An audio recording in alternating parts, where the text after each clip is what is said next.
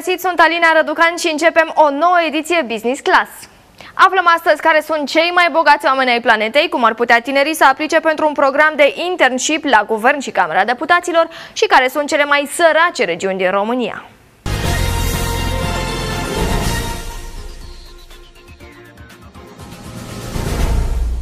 Ce vești bune primesc agricultorii din România? Cum va arăta factura unică la energie electrică începând de luna aceasta, când va fi dat publicității un nou proiect privind salarizarea bugetarilor și care sunt cele mai căutate stațiuni de la malul mării? Aflați chiar acum!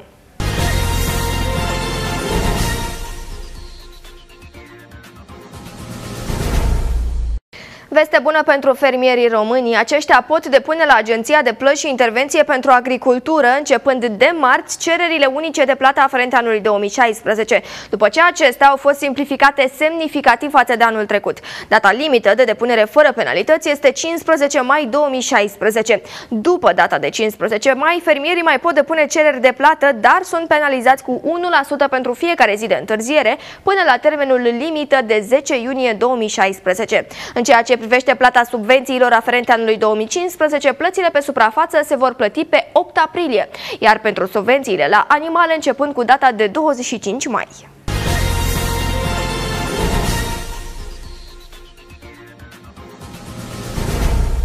De la 1 martie avem o factură unică la energia electrică, indiferent de firmă. Astfel, factura elaborată de către ANRE are o primă pagină mai simplă, care conține elemente esențiale pe care trebuie să le cunoașteți, cum ar fi consum, preț, kW pe oră, furnizorul, totalul de plată la zi, telefonul de la deranjamente, dar și telefonul de la relații cu clienții. Ca un element de noutate, energia consumată este comparată nu doar cu perioada anterioară, ci și cu aceeași perioadă anului precedent. Consumatorii trebuie să aibă acces la informații informații clare și inteligibile cu privire la drepturile lor, susțin reprezentanții autorității. Furnizorul este obligat să pună la dispoziția clienților casnici puncte unice de contact, conform reglementărilor ANRE pentru informarea acestora cu privire la drepturile lor, la legislația în vigoare, dar și la căile de soluționare a litigiilor în cazul unor dezacorduri sau plângeri.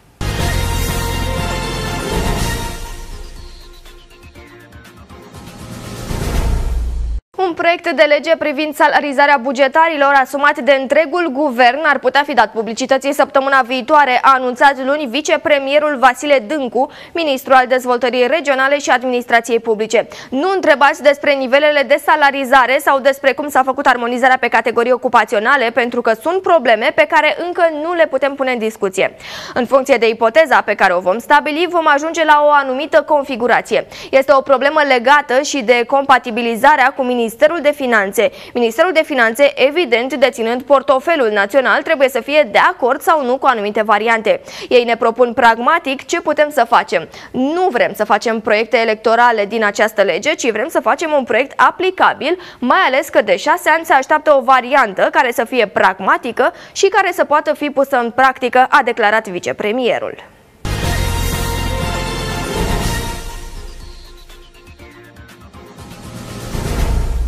Comerțul electronic se va menține pe un trend ascendent în 2016, urmând să ajungă la 12 miliarde de euro, cu 20% mai mult față de anul trecut, conform unui studiu realizat de o platformă de comerț electronic remis către Agerpress. În prezent, ITNC-ul, atât pe partea de hardware cât și pe cea de software, electrocasnicele, sectoarele auto, home and deco, fashion-ul și produsele conexe agriculturii au cea mai mare pondere în e-commerce-ul românesc, ultimele două domenii înregistrând o creștere activă accelerată.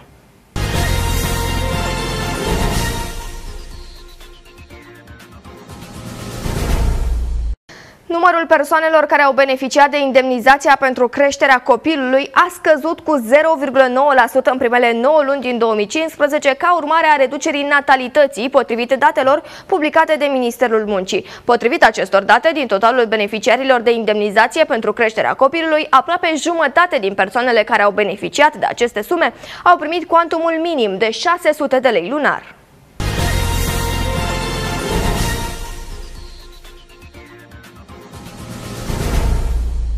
O mare parte din economiile făcute de familiile de români ca urmare a ieftinire alimentelor începând cu 1 iunie 2015 au fost cheltuite pentru utilități și diverse servicii care s-au scumpit.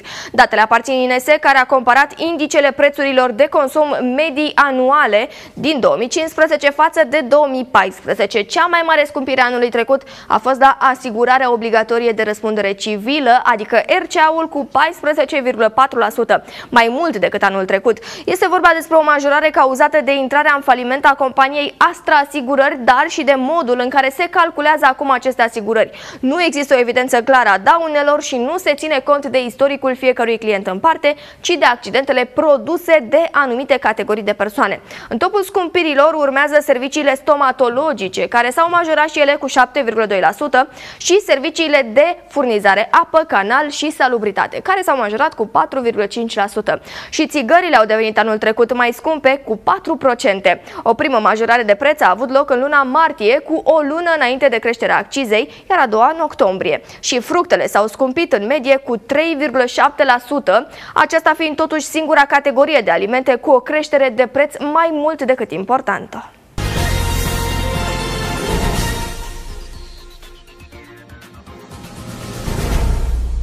Tarifele RCA pentru transportatori au înregistrat creșteri de până la 256% din iulie 2015 până în ianuarie 2016. Asta în cazul transportului rutier de călători reiese din raportul investigației privind sectorul asigurărilor auto din România, realizat de Consiliul Concurenței. Pentru transportul rutier de călători, datele arată creșteri are primei tehnice cu peste 50% la societăți de asigurare în perioada analizată, cea mai mare fiind de 200 56% în cazul unuia dintre asigurători. De asemenea, în intervalul de timp respectiv, una dintre companiile autorizate să vândă RCA a redus cu 30% prima tehnică.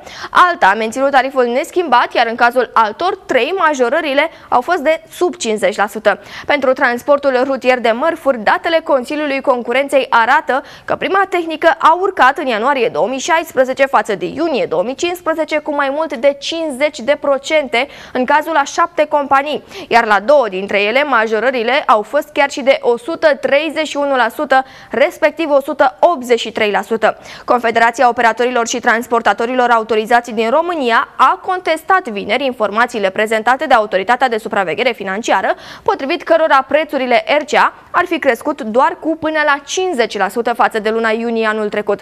Așa cum ni s-a cerut, noi am adus sute de poliție de asigurare prin care să demonstrăm că prețurile au crescut cu 100 200%. Firmele de asigurare nu au venit cu niciun document care să arate contrariul, au susținut transportatorii. Aceștia au încheiat la finalul anului trecut un protocol cu ASF și cu firmele de asigurare în urma unor ample acțiuni de protest prin care se stabilea plafonarea creșterii tarifelor RCA la 50% față de nivelul din iunie 2015. Între timp, firmele de transport au acuzat companiile de asigurări că nu au respectat protocolul și amenință cu noi acțiuni de protest.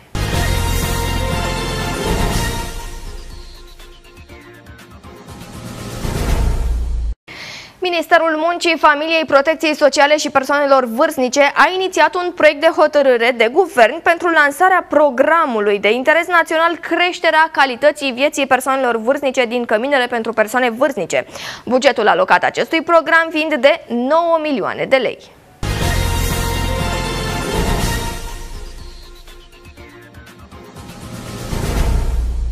Valoarea taxelor plătite de către operatorii economici autorizați în domeniul jocurilor de noroc din România a fost în 2015 de 269 de milioane de euro, adică aproximativ 1187 de miliarde de lei, în creștere cu 71,3% față de aceeași perioadă a anului anterior, potrivit datelor prezentate miercuri într-o conferință de specialitate de către Odeta Nestor, președintele Oficiului Național pentru Jocuri de Noroc. În decursul anului 2015 au fost efectuate 8624 de controle, fiind aplicate 1269 de contravenții. Cuantumul amenzilor s-a ridicat la 8,24 milioane de lei, iar 1049 de milioane de lei au fost încasați pe loc. În același timp, valoarea prejudiciului estimat pentru anul trecut a fost de 46.489 de milioane de lei. La capitolul cheltuieli, ONJN a raportat pentru anul 2015 un cuantum de aproximativ 3,8 milioane de euro.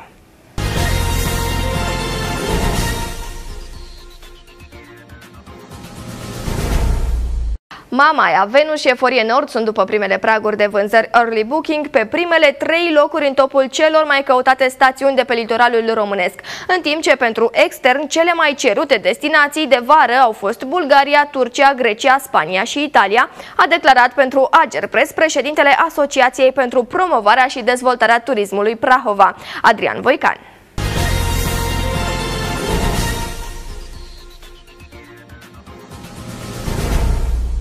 Comisia Europeană și Banca Europeană de Investiții au publicat recent o broșură menită să ajute autoritățile locale și promotorii proiectelor să profite la maximum de posibilitățile de combinare a fondurilor structurale și de investiții europene cu Fondul European pentru Investiții Strategice.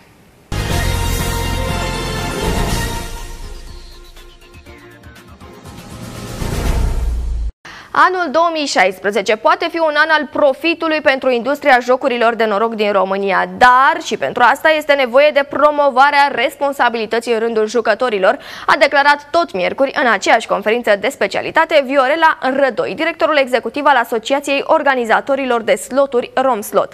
Anul 2016 poate fi un an al profitului pentru industrie, dar dacă ne dorim același lucru și pentru 2017, trebuie să ținem seama de un aspect extrem de important, responsabilitatea responsabilitatea. Aceasta trebuie să fie a tuturor partenerilor și a industriei în general. Avem nevoie de programe de responsabilitate, cum ar fi joc responsabil. Nu este suficient să investim într-un program dacă, la nivelul comunității, nu reușim să promovăm astfel de programe. Industria de gaming din România are nevoie să intre în era profitului responsabil, a afirmat Rădoi.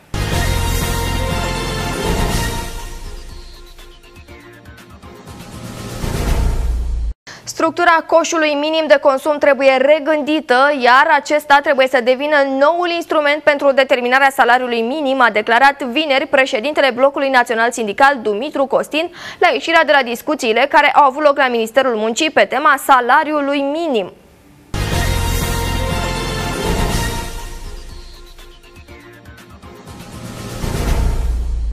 România a ajuns la o inflație negativă de minus 0,8% de la 170% în 1991, iar rezervele valutare au urcat de la 54 de milioane de dolari la 35 de miliarde de dolari în cei 25 de ani care au trecut de la redeschiderea pieței valutare, a declarat joia trecută guvernatorul Băncii Naționale a României Muguri Sărescu. În plus, dobânda media BNR era de 18%, iar acum este de 1,75% pe an, mai reiese din datele prezentate de guvernator. Potrivit acestuia, întreaga bază monetară a României este de 70 de miliarde de lei, respectiv 15 miliarde de euro, ceea ce înseamnă că emisiunea BNR este dublu acoperită prin rezerve. De asemenea, guvernatorul BNR a mai spus că în urmă cu 2 ani erau doar 6 participanți la piața valutară, iar acum numărul lor a ajuns la 37.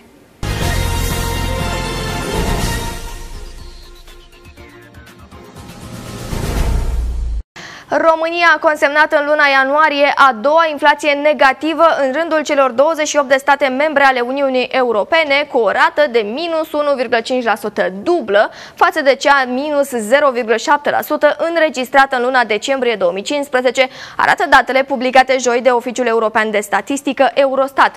Potrivit sursei citate, în Uniunea Europeană, rata anuală a inflației a rămas stabilă la 0,2%, în timp ce în zona euro a urcat până la 0,3% 3% în ianuarie, de la 0,2% în decembrie. Un număr de 10 state membre au înregistrat rate anuale negative ale inflației, pe primele două locuri fiind Polonia și România. La polul opus, cele mai mari rate anuale ale inflației au fost înregistrate în Belgia, Austria și Suedia.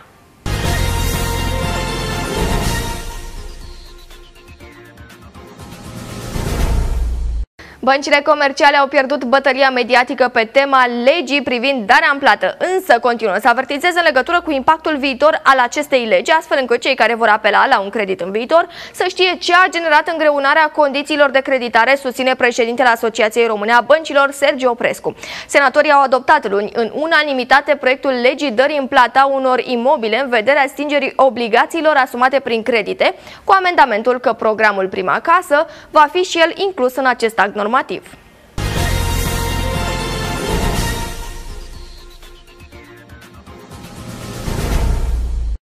Bill Gates, cofondator al companiei Microsoft, continuă să fie pentru al treilea an consecutiv cel mai bogat om din lume, potrivit topului revistei Forbes 2016. Bill Gates, care s-a aflat pe această poziție de 17 ori în ultimii 22 de ani, este posesorul la 75 de miliarde de dolari, susține publicația care va apărea în versiunea tipărită pe 21 martie. Dar care sunt ceilalți miliardari ai planetei aflăm chiar acum.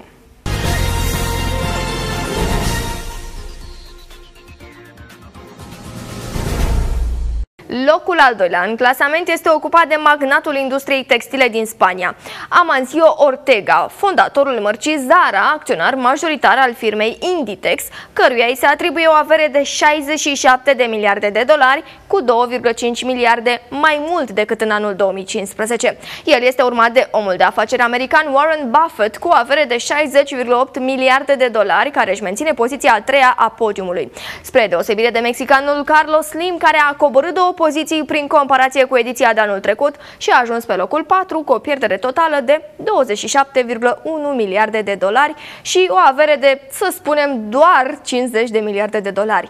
La numai 31 de ani, Mark Zuckerberg, fondatorul Facebook, este miliardarul ale cărui afaceri au mers cel mai bine în anul acesta, astfel încât averea lui a crescut cu 11,2 miliarde de dolari, totalizând în prezent 44,6 miliarde de dolari. El a urcat în clasament 10 poziții, de pe locul 16 în 2015 la locul 6. La fel de spectaculoasă a fost și evoluția lui Jeff Bezos de la firma Amazon, care de pe locul 15 a ajuns pe cel de-al cincilea loc în topul miliardarilor lumii, cu avere de 45,2 miliarde de dolari. Cel mai tânăr miliardar din topul anului 2016 este o femeie, norvegianca Alexandra Anderson, de numai 19 ani, cu o avere moștenită de 1,2 miliarde de dolari. Lista din 2016 numără 190 de femei cu 7 mai puțin decât anul trecut. Cea mai bogată femeie din lume este în continuare franțuzoica Lilian Bettencourt, proprietara companiei L'Oreal cu avere de 36,1 miliarde de dolari, în scădere totuși față de anul trecut, dar se menține destul de bine în top, ratând la mustață locul 10 și situându-se doar pe poziția a 11-a. În 2016, lista miliardarilor cuprinde 1810 persoane cu 16 mai puțin decât în urmă cu un an. Împreună, toți aceștia au o avere de aproximativ 6480 de miliarde de dolari, înregistrând o scădere de 570 de miliarde prin comparație cu anul anterior.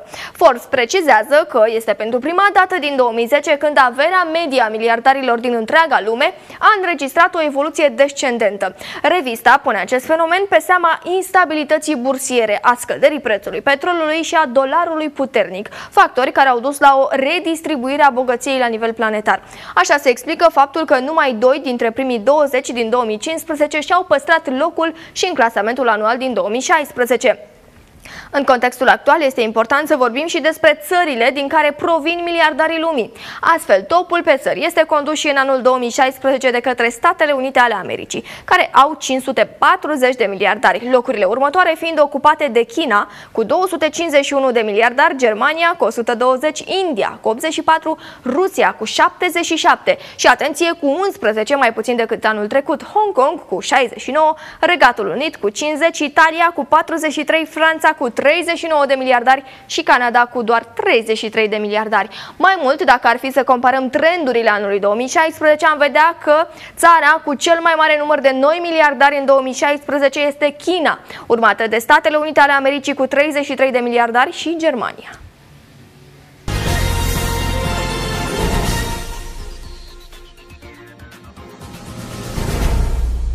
Programul de internship la nivelul administrației publice centrale continuă și anul acesta, astfel că tinerii interesați se pot înscrie până pe data de 15 mai. Studenții sau proaspeții absolvenți au și varianta înscrierii la programul de internship derulat de Camera Deputaților, acolo unde înscrierile se vor încheia la sfârșitul lunii martie. Ce condiții trebuie să îndeplinească cei care vor să se înscrie într-un astfel de program de practică, aflați chiar acum.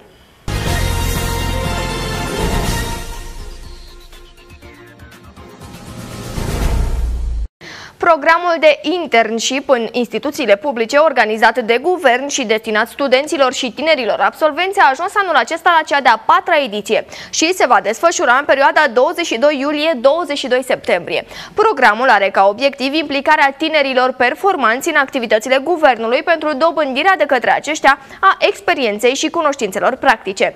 Tinerii interesați să lucreze timp de două luni la Palatul Victoria, în ministere și în celelalte instituții participante la program se pot înscrie la stagiul de practică din acest an până pe data de 15 mai, urmând ca în perioada 16-29 mai să aibă loc evaluarea candidaților și selectarea a 150 de stagiari.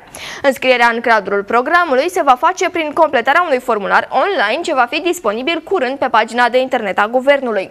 Conform informațiilor de pe site-ul dedicat programului amintit, tinerii interesați de stagiile de practică oferite de instituțiile publice trebuie să îndeplinească următoarele condiții pentru a putea participa să fie cetățeni români, să aibă cel mult 25 de ani, să fie studenți sau absolvenți de facultate, să cunoască cel puțin o limbă străină, să dețină cunoștințe minime din zona tehnologiei informației și să nu fi participat la edițiile anterioare ale programului. Tinerii care sunt deja angajați nu pot aplica la acest program. Chiar dacă experiența profesională nu este obligatorie, reprezentanții guvernului transmit că în evaluare se va pune preț pe activitățile de implicare civică ale candidaților, participarea la acțiuni voluntare, participarea în alte programe similare de internship. Dacă anul trecut stagiarii au fost remunerați în premieră cu suma de 450 de lei la finalul fiecăruia dintre cele două luni de practică, anul acesta guvernul va oferi o sumă considerabil mai mare participanților. Astfel, aceștia vor primi 1000 de lei la finalul fiecăruia dintre cele două luni ale stagiului, suma fiind alocată pe baza prezenței și implicării active în cadrul programului. Orarul de lucru al participanților va fi același cu cel al angajaților instituției, cu obligația de a lucra cel puțin 120 de ore lunar pentru a putea beneficia de bursa aferentă stagiului. Stagiarii care nu au reședința în București nu vor beneficia de cazare asigurată pe perioada celor două luni de activitate, dar vor avea posibilitatea cazării contra cost în căminele Universității Politehnica din București. Pe lângă programul de internship organizat de guvern în 2016, va fi derulată și o ediție a programului Internship la Camera Deputaților destinată studenților și tinerilor absolvenți. Concret, aceasta va avea loc în perioada 11 aprilie-10 iunie. În perioada 1-27 martie au loc înscrierile online. Acestea vor fi analizate de către membrii Comisiei de Selecție, urmând ca pe 28 martie să fie notificați candidații admiși pentru interviu și testare. Programul de internship a debutat în 2014 atunci când aproape 400 de tineri și-au exprimat dorința de a participa la stagiile oferite de Parlament.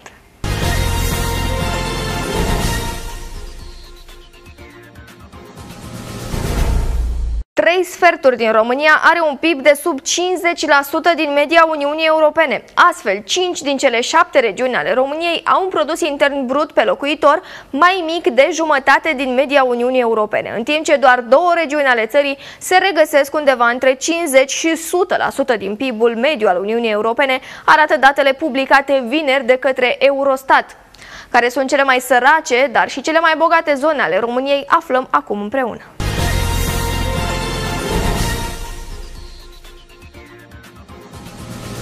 Situația cea mai grea se regăsește în nord-estul țării. Aici PIB-ul este de 34% din media Uniunii Europene. Singura consolare este faptul că există regiuni în Europa chiar și mai sărace decât cele din România. Este vorba despre Maiot din Franța cu 31% și alte două regiuni din Bulgaria cu 34%. Celelalte patru regiuni al căror PIB este inferior unei jumătăți din PIB-ul mediu Uniunii Europene sunt Sud-Vest Oltenia cu 41%, Sud-Muntenia cu 43%, nord-vest cu 48% și sud-est cu 50%.